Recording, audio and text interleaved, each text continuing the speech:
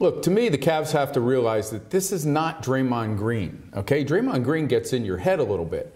This guy is he's a pseudo villain in my mind. This whole idea that he's this big rough and tumble guy.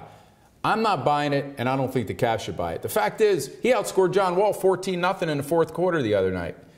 This guy can play a little bit. They need to pay attention to him uh, on the on the boards and with the ball in his hand more than worry about whether he's going to set a hard pick on somebody. That's what the NBA was Yeah. back in my day. Back, oh, we're going there already? That was quick. Back in your day. Listen, I, I almost, I'm not worried about him as an offensive threat though either. So That's I think, what the Wizards said before uh, Game Seven. so I think I, I would just like pretend he doesn't exist. Like, you have many more people to worry about. You need to be more concerned with Isaiah Thomas and Al Horford and Jae Crowder and Avery Bradley and Jaylen Brown. And, and, and that was a flash in the pan, I think, that Kelly Olynyk went nuts in the fourth quarter of Game 7.